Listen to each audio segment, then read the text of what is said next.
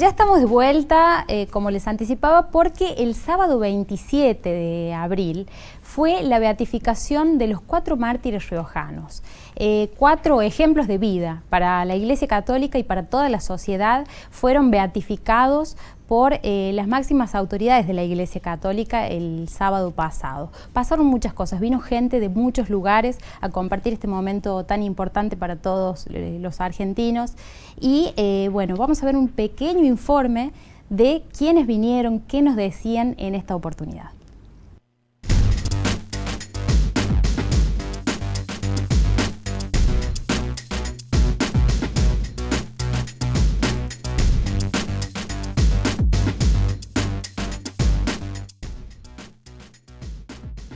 Venimos aquí a esta, como peregrinos a esta gran fiesta de toda la iglesia. Nosotros como iglesia de comunidades eclesiales de base, trabajando más de 30 años ya en la diócesis, estuvimos prácticamente fundamentando nuestra espiritualidad con todo el quehacer y la pastoral de Monseñor Angelelli. La frase que más nos moviliza a nosotros que estamos trabajando por la opción preferencial por los pobres es a no, meter, a no tener miedo de meterse en el barro.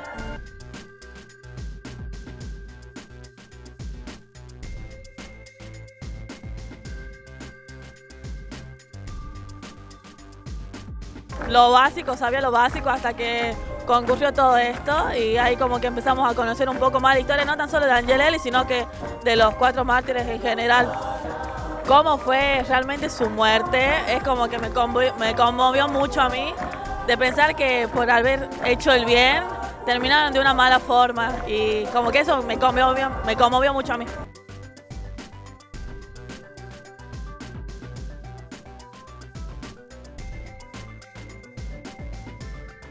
Y particularmente son símbolos políticos de la lucha de un pueblo.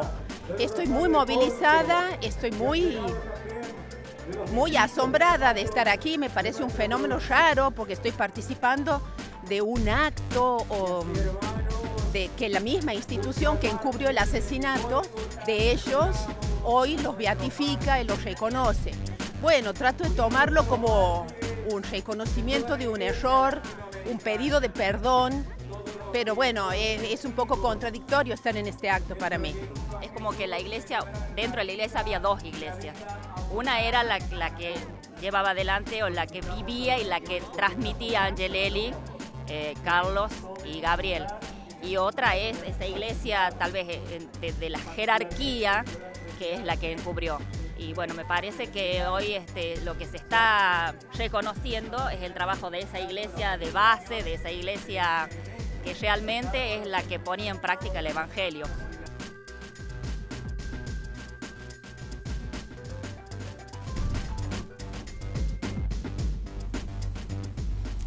Ahí veíamos un poco de lo que nos comentaba la gente que vino, que vivió el sábado la celebración, la beatificación de los cuatro mártires y hoy me acompaña el rector de la universidad, Fabián Calderón. Buenas tardes, Fabián, ¿cómo estás? ¿Qué tal? ¿Cómo te va, Pachi? Un saludo para vos, para toda la audiencia de, que nos siguen a través de Canal 9 en UNLAR TV. Fabián, ¿cómo vivió la universidad la beatificación de los cuatro mártires? Bueno, la verdad que nosotros lo vivimos con un gran compromiso desde el primer momento, en el que empezamos a ser parte de la organización en forma conjunta con el obispado, en forma conjunta con las distintas organizaciones sociales, sindicales, religiosas, eh, que decidimos eh, formar parte de la organización y comprometernos también en la organización. Hemos recibido a más de 500 peregrinos que estuvieron en las aulas del colegio, en el albergue de docentes universitarios. Hemos participado también creando la aplicación en el celular Mártires de la Rioja. Hemos decidido también en las intervenciones artísticas eh, que realizaron el equipo, los estudiantes de la carrera de humanidades. Eh, cuando formamos parte también del diseño de las carpas de los artesanos, con el cual nos parece importante que debían estar, con nuestros jóvenes que participaron también como voluntarios recibiendo a los peregrinos, todos los trabajadores y las trabajadoras no docentes que del área de Secretaría General, de Extensión, de Relaciones Institucionales, bueno, todo, todo una, una predisposición que tuvimos como universidad porque nosotros esta gestión desde que nos hicimos cargo entendimos que Monseñor Enrique Angelelli formó parte de una etapa fundacional de eh, para poder tener y, que acompañó la creación de una universidad provincial en ese momento, que acompañó a los jóvenes del CUR en ese momento, entonces nos define, nos marca y nos invita a seguir creciendo como universidad la persona, la figura de Monseñor Enrique Angelelli. Precisamente eso te iba a preguntar, desde hace varios años que la universidad, por lo menos desde el 2013 en adelante, fuertemente instaló la presencia de Angelelli en un montón de acciones y, políticas ¿no? universitarias. Coméntanos cómo es eso.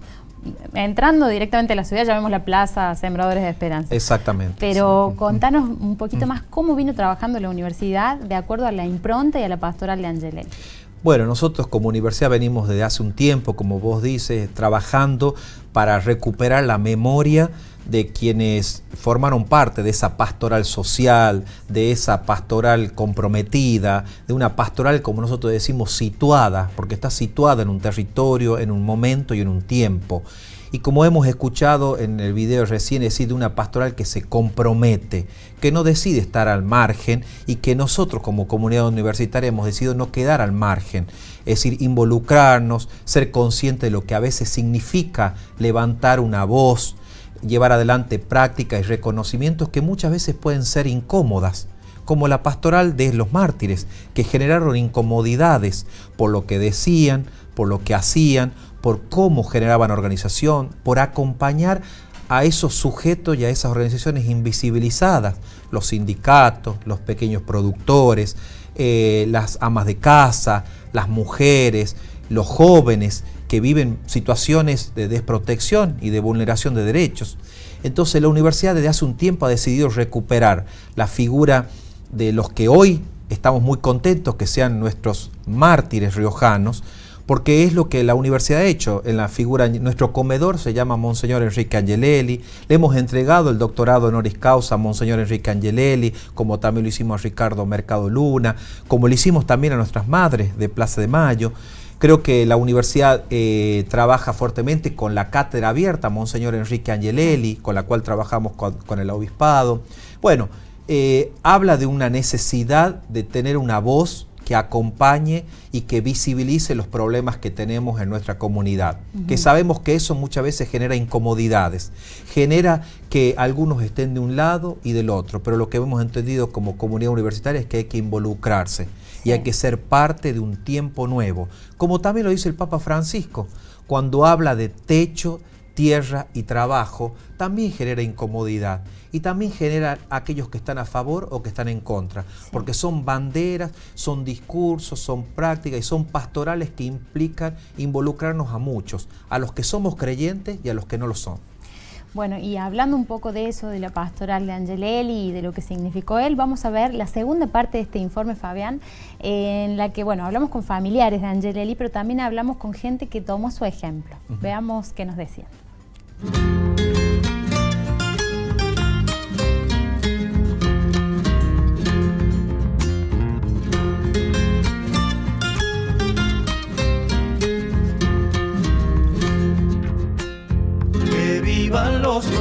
Es un reconocimiento que la iglesia le hace a él. Después de muchos años, eh, costó un poquito, de acuerdo o no algunos, llegamos a esto. Me gratificó muchísimo el juicio civil porque era una necesidad extrema que tenía para que reconocieran que fue un asesinato, no un accidente, como muchos creen todavía. Y me alegro, me alegro como familia, como tío, como mi padrino, como quien comía los tallarines los domingos con mis hermanos. Él es hermano de mi madre. Para nosotros es eh, muy importante, es un día creo de, de amistad, primero porque él eh, dio la vida por, eh, por su fe y por, por Carlos también, porque mm, es un día muy, muy fuerte para nosotros y de manera humilde lo, lo celebramos juntos con la familia y, y con la, la gente de aquí. Argentina tu es una luz de esperanza. En una coherencia con el mensaje y la espiritualidad de Enrique Angelelli, em, estoy desde el 2008 eh, trabajando, soy integrante, una más, de la cooperativa TACU, que elaboramos productos a base de algarroba, el producto que nos da ahí la tierra, y siempre en comunión en nuestro pueblo hay mm, tres cooperativas, entonces eh, digo en comunión porque se arma un clima de, de hermandad entre las cooperativas. Felices los perseguidos. Tenemos una de construcción y una textil, o sea, de confección de prendas de punto y línea. Tres cooperativas en un pueblo que no tiene más de 750 habitantes. Y con su ofrenda traen la buena noticia. Sabemos que los valores cooperativistas y de solidaridad eh, son todo un reto, ¿no? Nos invitan a profundizar sobre el vínculo, el trabajo, la- el compromiso, la responsabilidad. Tu juventud entregaste en tierras de Chamical.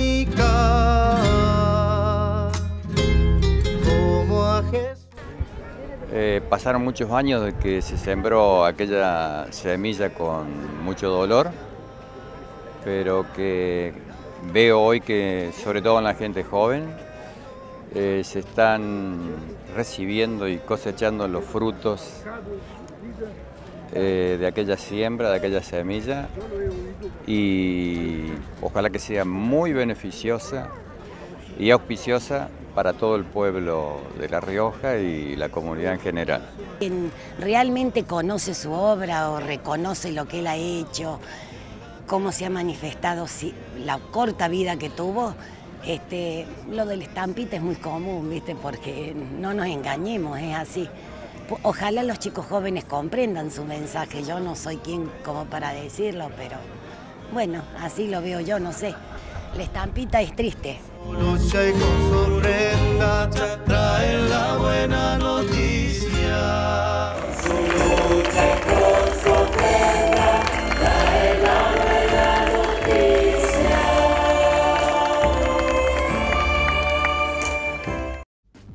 Bueno, muy bien, ahí lo decía la sobrina de Angeleli, Fabián, eh, ojalá que los jóvenes comprendan su mensaje y no quede en una mera estampita, ¿no?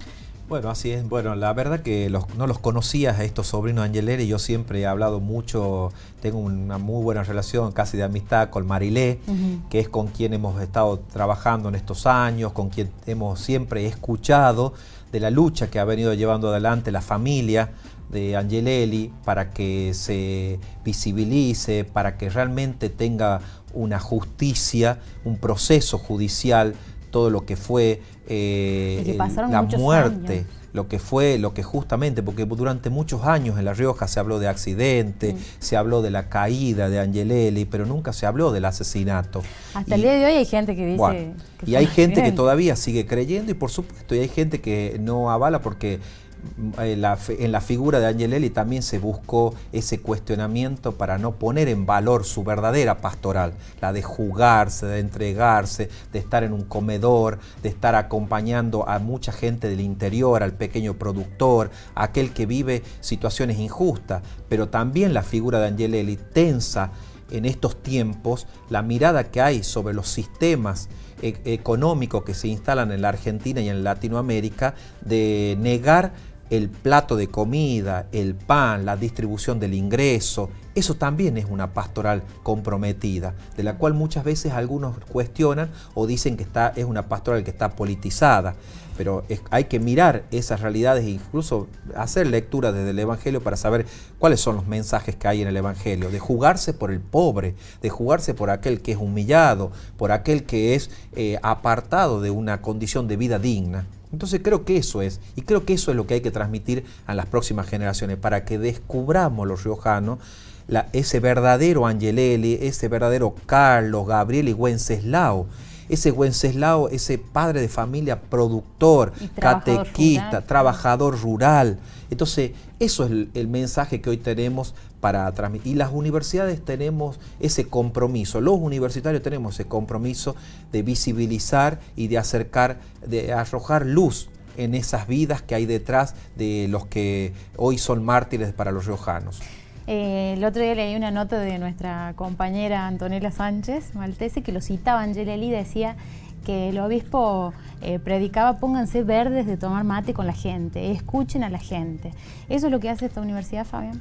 Bueno, es lo que nosotros tenemos que trabajar, como dice también Francisco, que tengamos pastores con, pastores con olor a oveja, pero que también los universitarios estemos en el barro, los universitarios estemos en el barrio y en el barro.